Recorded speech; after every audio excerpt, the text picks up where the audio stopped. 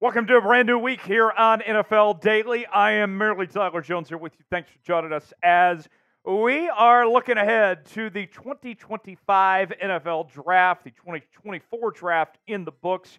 And it is a little too early, maybe, but that's okay to be looking ahead to next year's draft. ESPN's Jordan Reid put out his first mock draft for next year. We'll go over all 32 picks some trades included as well. The draft order, by the way, is based on the Super Bowl odds from ESPN Bet and then how they would reflect in the NFL playoff standings as well. So we'll go over that in just a matter of moments and give our thoughts on the selections made by Jordan Reid here on today's show. Before we do, I got to ask you what team won the 2024 NFL draft? What team stood out to you among the rest that had the best performance now that we're a couple weeks removed here from the NFL draft. Weigh in the comment section. Let me know who you think that team was, and we'll get started with today's show. With the first pick in the 2025 NFL draft, the Carolina Panthers trade the pick to the New York Giants, and the Giants trade up to select Carson Beck, the QB out of Georgia, one of the Heisman favorites in 2024.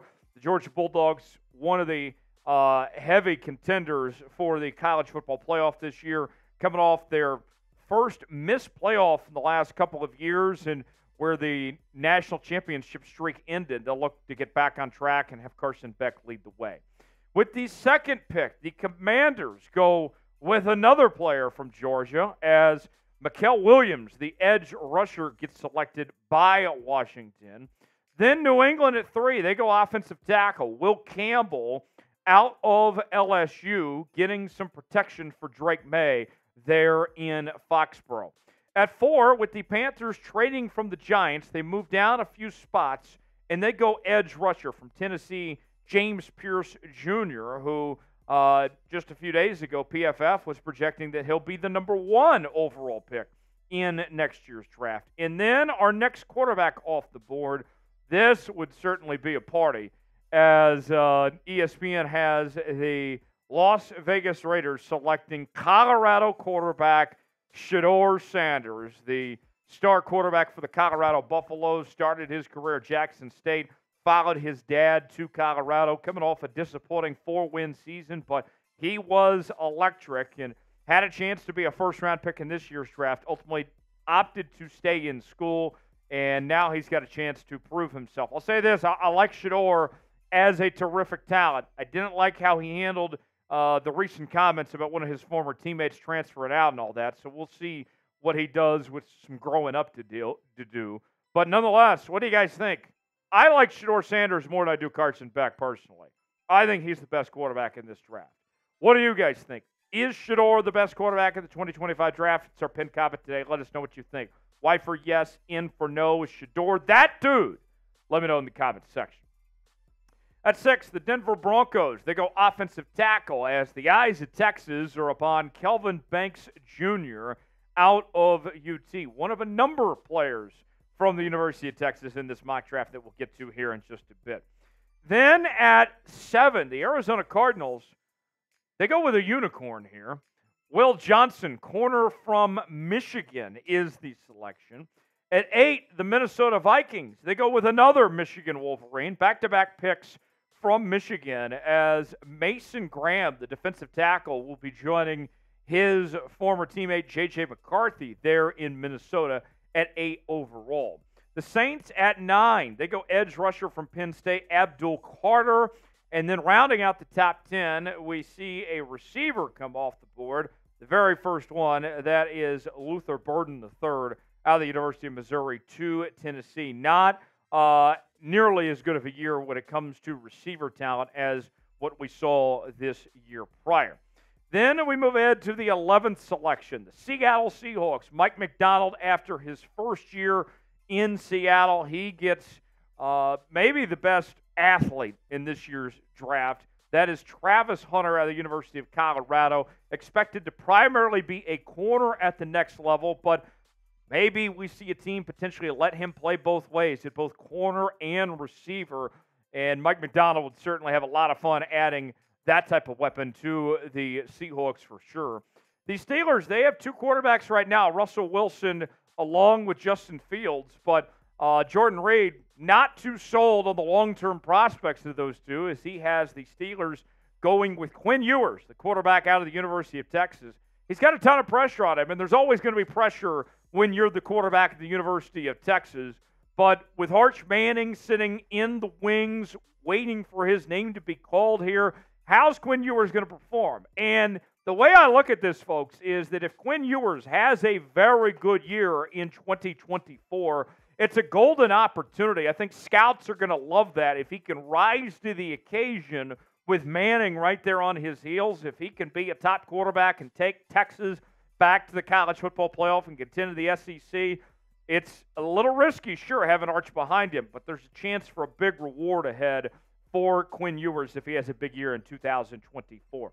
Who is the better QB in Austin? Is it Quinn Ewers or is it Arch Manning? Could we see the Manning legacy start this year in Austin? What do you guys think? Type Quinn for Quinn Ewers, type Arch for Arch Manning. Producer Big Tex, he's being a loyal Texas fan. He's just spamming both of them in the comments section. Join him in the comments and let me know which one you're going with. We have NFL rookie jerseys on sale now at chatsports.com slash NFL jersey. Whether you want to represent Caleb Williams or Drake Maye or Jayden Daniels. Uh, maybe it's a player from your favorite college team or your favorite pro team, whatever it may be. We got plenty of options for you, and you can get yours now at chatsports.com slash NFL jersey. These jerseys are going fast. They are going quick, folks. And we have all sorts of different sizes, men's and women's options as well something for everybody. Chatsports.com slash NFL jerseys where you can get yours today. The link is in the comments and description of today's video. That's chatsports.com slash NFL jersey. At 13, the Buccaneers go corner from Notre Dame, Benjamin Morrison. Well, at 14, the Indianapolis Colts go Malaki Starks, safety from Georgia, as the Dogs continue to represent in the 2025 draft. Then at 15, the Chicago Bears go edge rusher from Florida State, Patrick Payton, uh, there with the pick. At 16, the Chargers, they go wide receiver with Tetairoa McMillan out of the University of Arizona. And at 17, we see the Jags. They go corner, finding Denzel Burke uh, out of the Ohio State well, at 18, the Browns go offensive tackle Emery Jones Jr. from LSU. 19, the Rams, they go defensive tackle as they pick up Deone Walker from the University of Kentucky. And then at 20, the Atlanta Falcons, they go edge rusher as uh, they will not be taking another quarterback in next year's draft.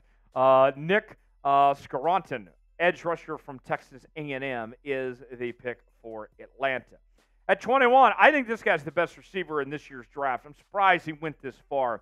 Emeka Egbuka out of the Ohio State. He had a chance to be a first round pick in this year's draft. Ultimately decided to stay in school, wants to contend for the Big Ten, finally beat Michigan and go out there and win the national title. He's back there at Ohio State this year, and he'll be the Buckeyes at number one receiver. This would actually pair him up with Garrett Wilson, there in New York with two Ohio State receivers leading the way there.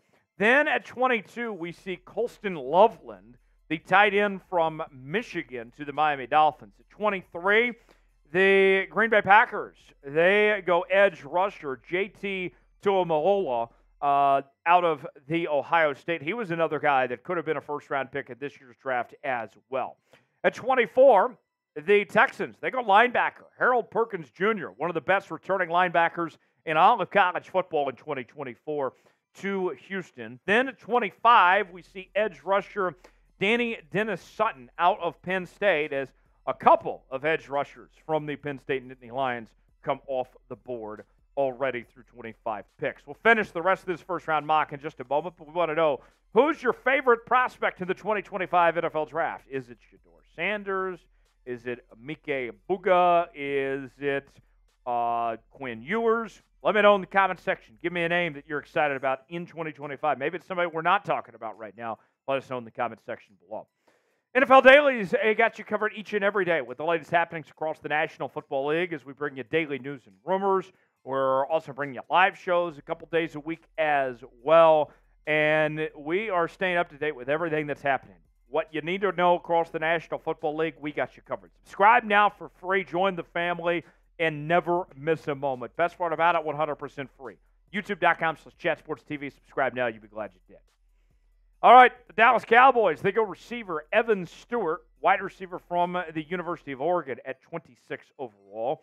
Well, we see another Longhorn, Isaiah Bond, makes the move from the Alabama Crimson Tide to the Texas Longhorns. He's expected to uh, replace Xavier Worthy and Adonai Mitchell as the de facto number one receiver in Austin this year. He goes to the Bills, who they could probably use Isaiah Bond right now, if we're going to be honest here. Uh, meanwhile, at 28, we see the Bengals get some offensive line help. They go offensive guard Tyler Booker from Alabama. At 29, the Detroit Lions go edge rusher with Ashton Gillotte with the selection. Then at 30, the Ravens, they go edge rusher with Landon Jackson from the Arkansas Razorbacks.